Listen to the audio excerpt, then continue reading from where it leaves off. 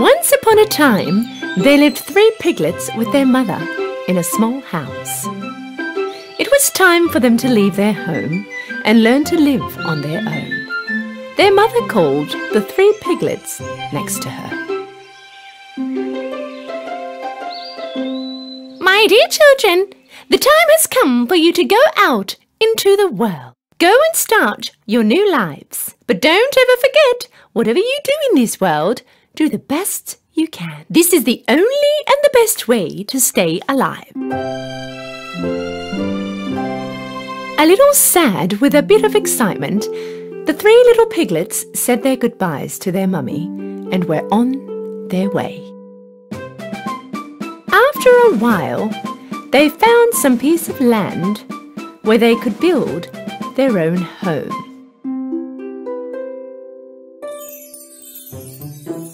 The youngest piglet was determined to build his home with straw. He thought this was the easiest and the fastest way to build a home. That way, he had heaps of time to play. The youngest of them all finished his house in one day. He yelled out to the other piglets, Hey, you guys, I'm already finished! The eldest piglet had a look at the house. Mm, okay, but this house doesn't look steady at all. How will we protect ourselves from the wolf? The youngest piglet didn't take any notice of his brother. Don't worry, nothing will happen. Okay, don't say I didn't warn you.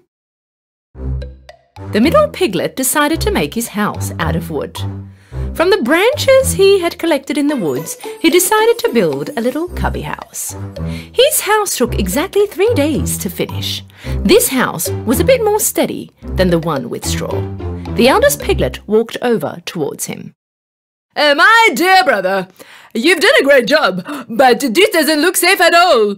Is this house going to protect us from the wolf? The middle piglet answered. Don't worry, this house is very safe. Okay, don't say I didn't warn you! While the two little piglets were having a great time in their newly built homes, the eldest of them all was constantly working because he was building a home from bricks and rocks. The other piglets thought that his effort was useless. All they did was play around and kill time.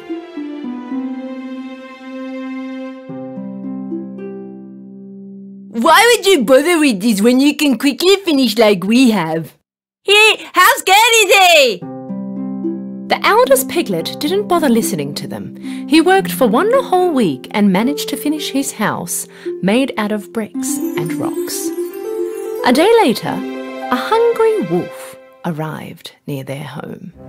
He first stood in front of the house made of straw. The little piglet was resting in his house made of straw. The wolf knocked on the door.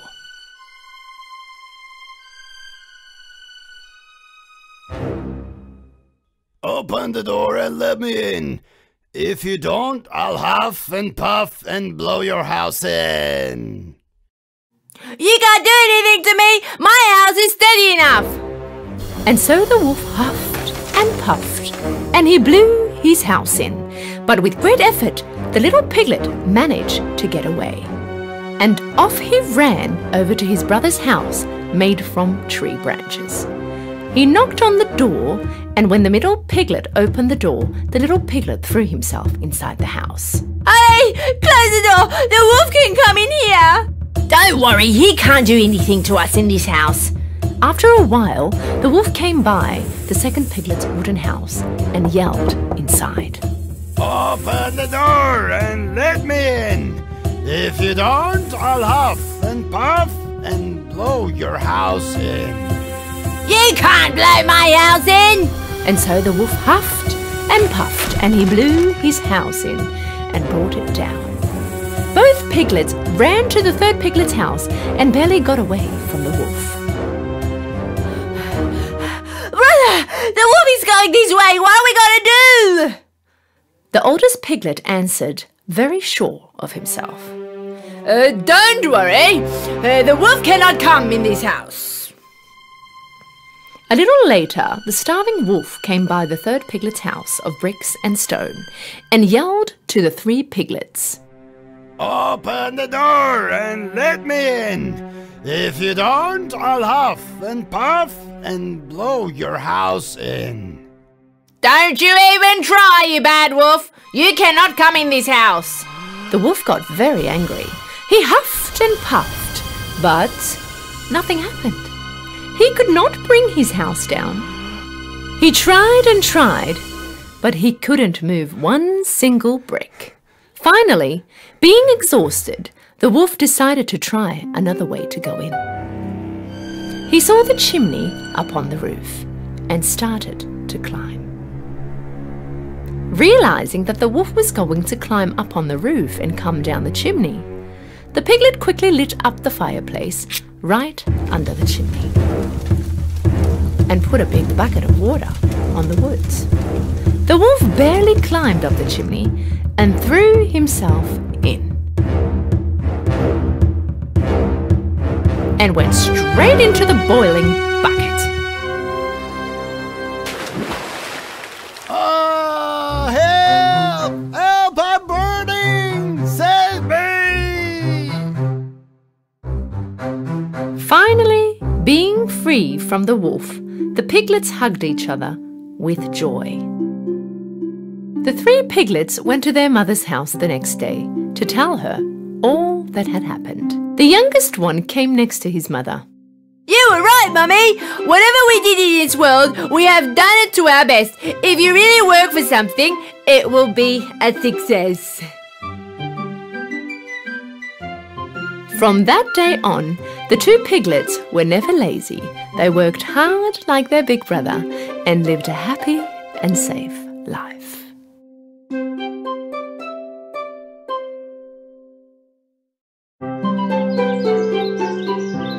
In a forest lived a rather rickety mouse. He was so afraid of the fox, the wolf, and even himself for that matter,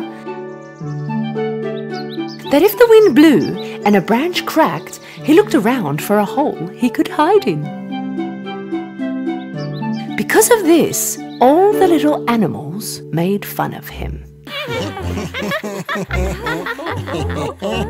How scared is he? You're even scared of the wind. You're so scared. You're so scared. You're so scared.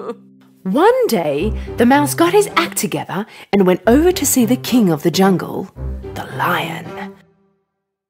The lion had just finished having his lunch. He was taking a nap in front of the cave.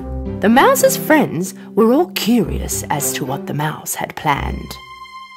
The mouse started to climb up the lion's tail. He got up on the lion's back. With a very confident look on his face, he posed to his friends.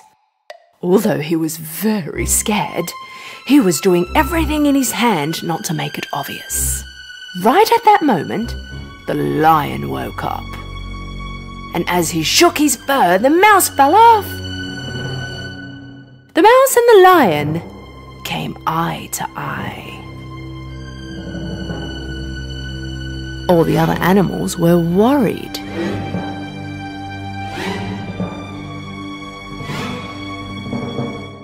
Oh no, the lion will swallow the mouse!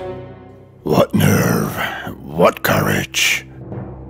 What are you doing on my back? King out the jungle. Please don't eat me. Uh, I'm the most scared and the most vulnerable of them all. My life passes on by shaking with fear. if a leaf falls off the tree, I'm scared. I'm fed up with this. I want to get rid of this fear. You're the king of the jungle. With just one big roar, the animals fear you. Would you consider taking me into your custody? The lion listened to the mouse in silence. The mouse was wondering what his reply was going to be. Oh,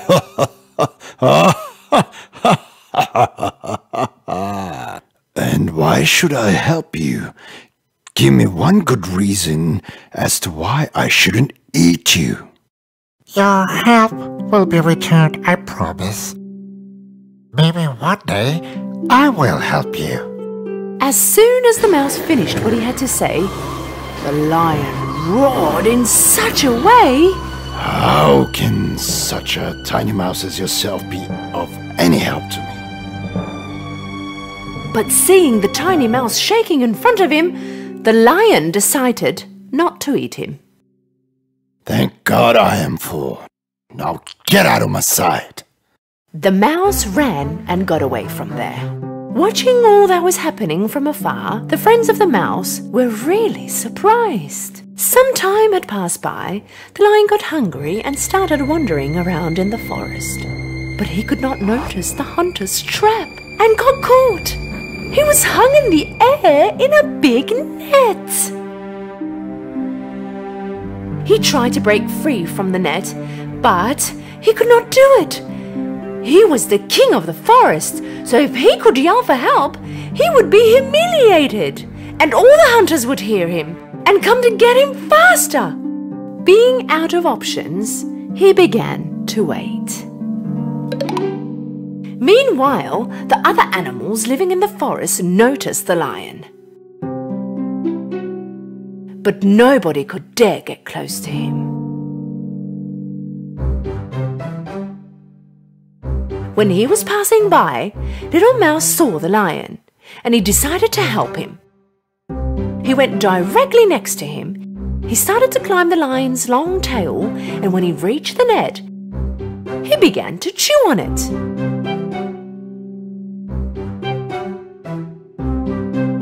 At that moment, the bunny came running next to them. Hey, buddy, hurry up. The hunters are coming. The other animals who were gathered around suddenly started to run around when they heard the word hunter. But the mouse kept on chewing with persistence. In the end, the net was torn apart and the lion fell down and got away. Come on, jump on my back. Let's get out of here. The mouse jumped on the lion's back and they got away from there. All breathless, the lion arrived in front of his cave. He kneeled down and the mouse jumped off. When you told me that one day you might be able to help me, I underestimated you. I thought you were a tiny mouse with no use at all. But you saved my life. Thank you. It's my pleasure, my king. You don't have to be afraid of me anymore. In fact, you do not need to fear anything because you're a very courageous mouse. If I am the king of the jungle, from now on, you are my courageous prince. Lion and the mouse began to laugh.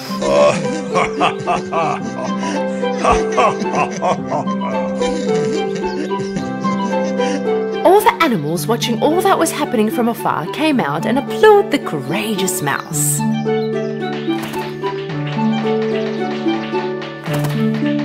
The lion and the mouse became best friends, and the forest lived in peace forever.